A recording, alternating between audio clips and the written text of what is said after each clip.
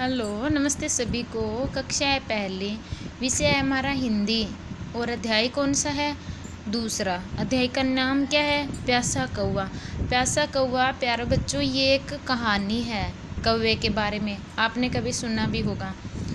इसमें देखो, ये भिन्न भिन्न पिक्चर दी हुई है। इसके माध्यम से आप अपने को कहानी को समझना है। पहला देखो, एक बार एक प्यासा कौआ होता है।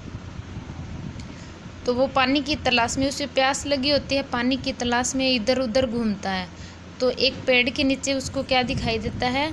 एक पानी का घड़ा दिखाई देता है। तो पानी के घड़े के पास जाता है अपनी प्यास बुझाने के लिए, लेकिन क्या देखता है कि पानी के घड़े के अंदर पानी है, वो बहुत नीचे है, क्योंकि उसकी चोंच उस तक जा नहीं रही है।